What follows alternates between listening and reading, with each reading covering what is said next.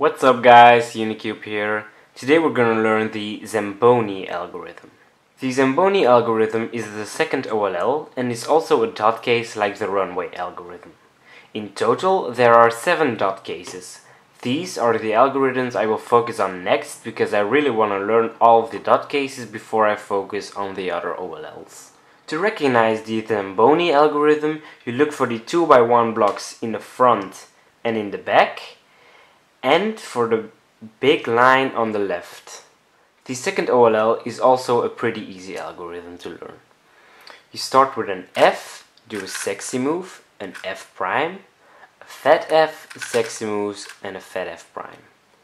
So this is F R U R prime U prime F prime fat F R U R prime U prime fat F prime.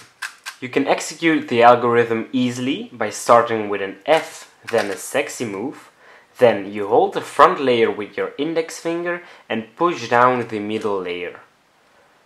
This way you basically combine an F prime and a fat F. Then you do another sexy move and a fat F prime and the algorithm is solved. The notation for a f prime and an f is an s. So if you execute it a little more quickly, it goes like this.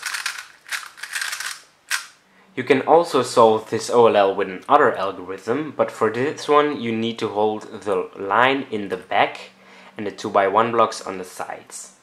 It goes like this. You start with a small r, u, small r prime, u2, small r, u2, r prime, u2, r, u prime, small r prime.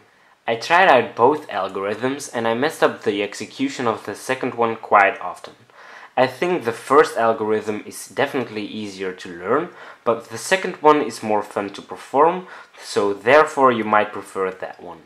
I don't know which one is the fastest, so you need to choose the algorithm which suits you best.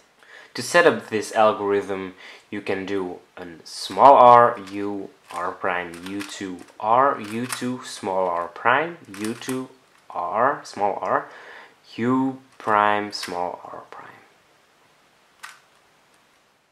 The links to watch the step-by-step -step execution are in the description.